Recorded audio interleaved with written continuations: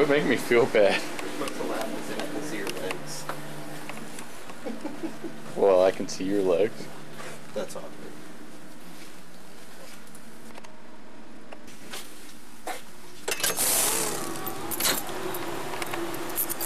The dynamic range on this thing is so bad that I had to point it this way because this way completely blacks me out.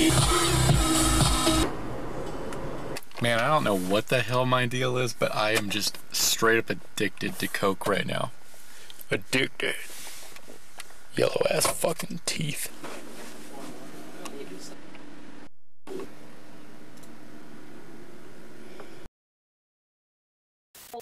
Out on a little ride right now. This thing's pretty cumbersome. also, I'm pretty bad at, uh, I don't know, keeping a conscious stream of thought going.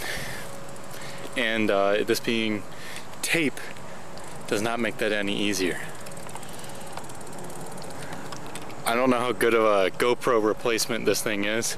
I also wonder if uh, tape skips. I'm totally gonna drop this stupid thing. Part of the fun, I guess. Having a camera you can just like beat the shit out of. I'm used to having things that I want to just baby. You ever look at roadkill and you just can't even figure out what critter that used to be?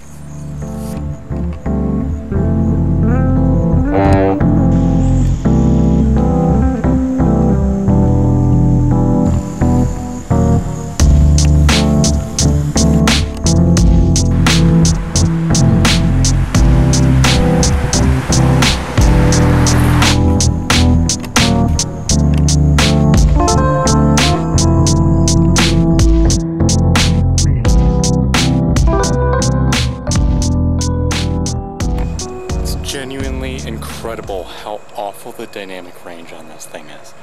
It has a backlight button, so you have your option of blowing everything out in the highlights real bad, or just nothing in the shadows.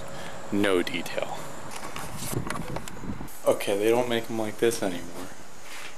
Just a nice uh, on-camera light. I also uh, really enjoyed the the IR camera night shot.